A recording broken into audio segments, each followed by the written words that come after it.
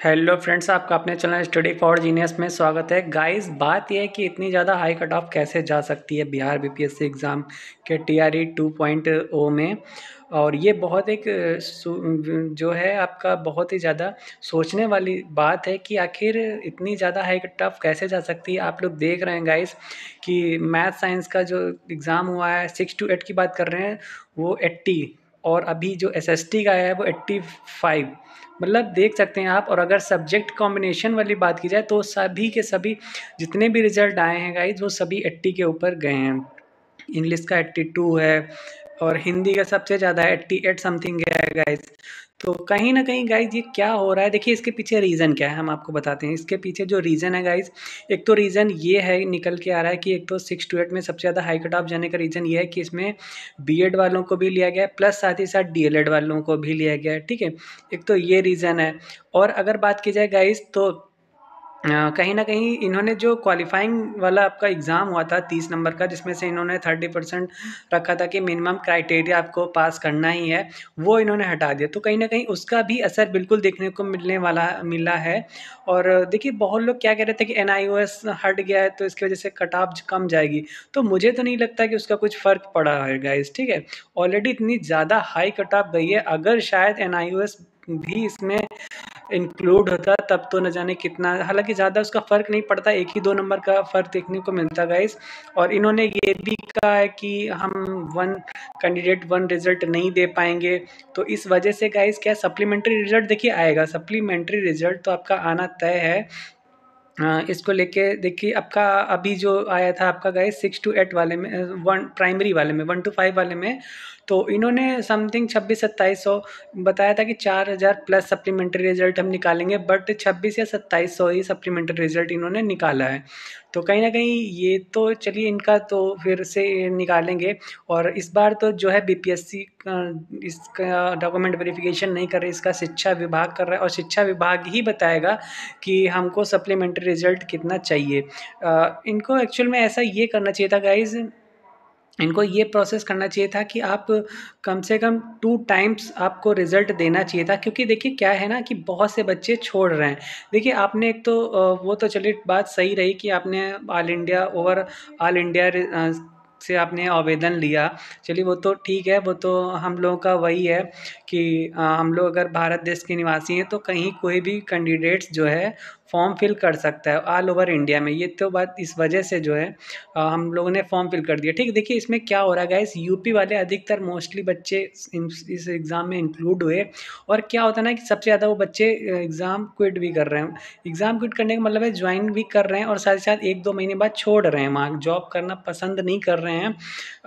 क्यों नहीं पसंद कर रहे हैं गाइस देखिए अगर उनकी देखिए हर एक कैंडिडेट चाहता है कि हम अपने स्टेट में रहें। अगर उसका एग्ज़ाम यूपी का कैंडिडेट है और वो यूपी का कोई भी एग्ज़ाम क्वालिफाई कर लेता है तो वो बिहार क्यों जाना चाहेगा गाइस ठीक है?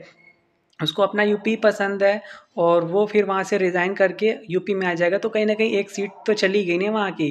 तो कहीं ना कहीं ये भी रीज़न है गाइस वहाँ के मोस्टली आप देख सकते हैं वन टू फाइव के कैंडिडेट्स हैं। आए दिन एग्ज़ाम आपका ज्वाइनिंग लेटर जो आपका ज्वाइन किए थे, वहाँ से गाइस इस्तीफ़ा दे के आ रहे हैं इंडिया तो आए दिन ये चीज़ें निकल के आ रही हैं और कहीं ना कहीं यूपी के कैंडिडेट्स कैंडिडेट्स जो हैं, काफ़ी सालों से इंतज़ार कर रहे थे कि कोई टीचर की वैकेंसी नहीं आई है और ये बिहार में अच्छा मौका मिला। ये तो काबिल तारीफ़ था कि बहुत ही कम टाइम में दो दो वैकेंसी मायने रखता है। इतने कम टाइम में दो वैकेंसी क्वालिफाई आपका रिज़ल्ट तक दे देना, इतने कम टाइम में बहुत ही मायने रखता है। और ऐसा और यूपी के बच्चे कैंडिडेट्स बहुत ही परेशान थे तो उनको ये अच्छा मौका मिला और इसमें कहीं ना कहीं उन लोगों ने जो है इसका फ़ायदा भी उठाया है। तो मेरा मेन मतलब कहने का ये था गाइज़ आखिर इतनी हाई कट ऑफ़ कैसे जा सकती है? तो इसका रीज़न यही है। इसके रीज़न जैसे कि गाइज़ यही सामने निकल के आ रहे हैं। तो आपने क्वालिफाइंग वाला एग्ज़ाम जो है, वो आपने वो हटा दिया इसका कट ऑफ़ लेवल मिनिमम वाला। ठीक है, और दूसरी चीज़ क्या निकल के आई गाइज़ दूसरी चीज़ ये निकल के आई कि बच्चा देखिए इसमें क्या हुआ कि प्राइमरी से बीएड हट गया। जब प्राइमरी से बीएड हट गया तो बीएड वाला बच्चा आखिर कहाँ जाएगा? वो अपर प्राइमरी में जाएगा और अपर प्राइमरी में यही एक मौका भी उसको मिला कैंडिडेट्स को, यही एक अच्छा मौका मिला कि वो इस मौके को भुना सके। ठीक है, और कहीं ना कहीं उसने प्राइमरी में तैयारी ऑलरेडी उसने की थी एग्ज़ाम भी दिया था। वो तो सुप्रीम कोर्ट का आदेश आया, इस वजह से वो हट गया प्राइमरी से।